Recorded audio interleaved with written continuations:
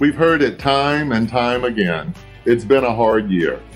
So let's focus on the good things that have happened at the College of Pharmacy and Health Sciences in 2020. Our students have impressive pass rates. Nursing posted a 90.7% pass rate on the state boards. Pharmacy was above both state and national averages on the NAPLEX as well as the MPJE. And our PA program boasts a first time pass rate of 98% on the.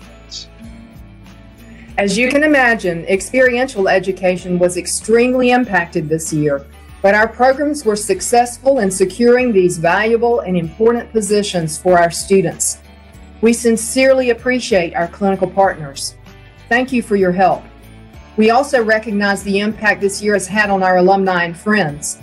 Thank you for your service and continued care for our community. Our faculty and staff have been awarded more than $500,000 in grants to conduct research on projects ranging from rural community care during COVID 19 to the treatment of cocaine abuse. The Office of Interprofessional Education held three summer webinars with expert panelists to share information about the pandemic and its impact. Based on student feedback, the office also initiated an innovative new event named REPS that offers direct instructional opportunities focused on the roles and responsibilities of each profession on the healthcare team. We started the first Doctor of Health Sciences program in North Carolina and welcomed 20 students into the initial cohort for this 100% online degree. Another online program we kicked off this year was the RN to BSN. We are still accepting applications, so tell all your friends. We welcome Dr. Priscilla Weaver as the new chair and director of the physical therapy program. Thanks, David. It's great to be here.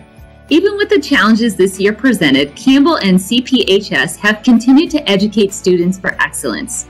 We transitioned to virtual learning in the spring with outstanding planning and preparation from the Campbell Task Force and with input from our very own Dr. Westrich, we were able to bring students back to campus this fall.